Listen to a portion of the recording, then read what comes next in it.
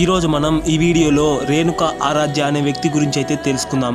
అంతకంటే ముందు భరత్ ఎడిషన్ ఛానల్ని ఇంకా ఎవరైతే సబ్స్క్రైబ్ చేసుకోలేదో సబ్స్క్రైబ్ చేసుకోండి.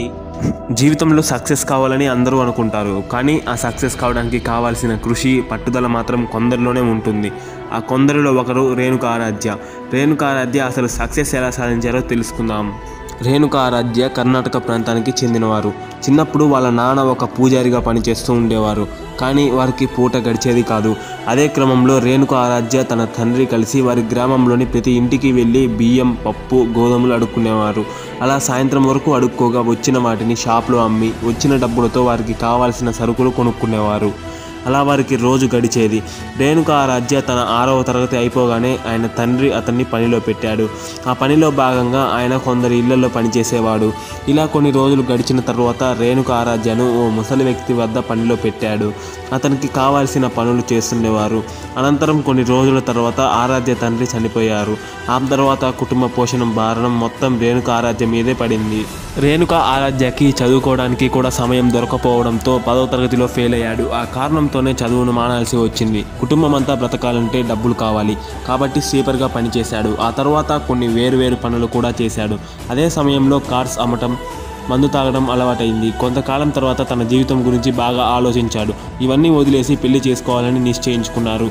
రేణుక ఆరాధ్య ఇరవై ఏళ్ళ వయసులో పెళ్ళి చేసుకున్నాడు. తరువాత తన భార్యను కూడా వేరే పనిలో పెట్టాడు. అలా తన జీవనాన్ని కొనసాగించడంలో భాగంగా ఏ పని దొరికితే ఆ పని చేస్తూ ఉండేవారు. ఆ క్రమంలోనే ఓ ప్లాస్టిక్ తయారీ కంపెనీలోను తర్వాత కొబ్బరికాయల చెట్లు ఎక్కే పని కూడా చేశారు. అదేవిధంగా నెలకు రూపాయలు ఆరు వందల జీతంతో సెక్యూరిటీ గార్డు కూడా పనిచేశాడు.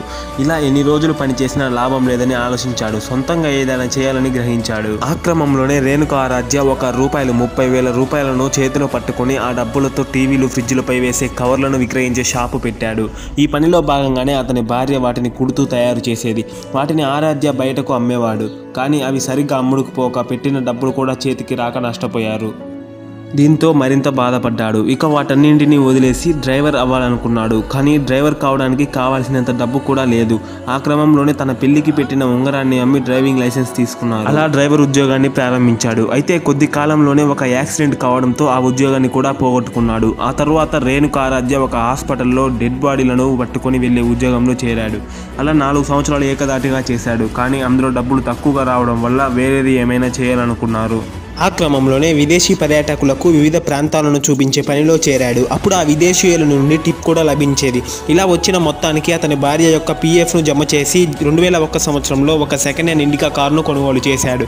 దానివల్ల వచ్చిన డబ్బుతో మరొక కారును కొన్నాడు. అలా రెండు వేల ఆరు సంవత్సరం వచ్చేసరికి ఐదు కార్లను కొన్నాడు. అంతేకాకుండా సొంతంగా సిటీ సఫారీ అనే ట్రావెల్ను కూడా పెట్టాడు. అదే సమయంలో ఓ ఇండియన్ సిటీ ట్యాక్సీని అమ్మేస్తున్నారనే విషయం తెలిసింది. అప్పుడు రెండు వేల రెండు వేల ఆరు సంవత్సరంలో రూపాయలు ఆరు లక్షలతో దానిని కొనుగోలు చేశారు. దానికోసం అతని వద్ద ఉన్న కారును అమ్మాల్సి వచ్చింది. తర్వాత దానిని రేణుక ఆరాధ్య ప్రైవసీ క్యాబ్గా మార్చాడు. ఇక ఇప్పటి నుంచి అతనికి వెనక్కి తిరిగి చూసుకోవాల్సిన పని అవసరం లేదు. అలా రెండు వేల పద్దెనిమిది సంవత్సరానికి తన బిజినెస్ను చెన్నై మరియు హైదరాబాద్ కూడా విస్తరింపచేశాడు. అలా తన క్యాబ్స్ సంఖ్య పదమూడు వందలకు చేరింది. ఇక మార్కెట్లోకి ఊబర్ ఓలా లాంటి కంపెనీలు వచ్చినప్పటికీ అతని బిజినెస్ను ఏమాత్రం కదల్చలేకపోయాయి. ఎందుకంటే రేణుకి ఆరాధ్య తన కష్టాన్ని నమ్ముకున్నాడు. కాబట్టి ప్రతిఫలం కూడా అదే విధంగా దక్కింది. ఒకప్పుడు ఇల్లు ఇల్లు తిరిగి అడుక్కున్న వ్యక్తి ఇప్పుడు రూపాయలు యాభై కోట్ల కంపెనీకి ఓనర్ అయ్యారు. వీడియో నచ్చితే వీడియోని లైక్ చేయండి. ఇలాంటి వీడియోస్ కోసం ఈ ఛానల్ని తప్పకుండా సబ్స్క్రైబ్ చేసుకోండి.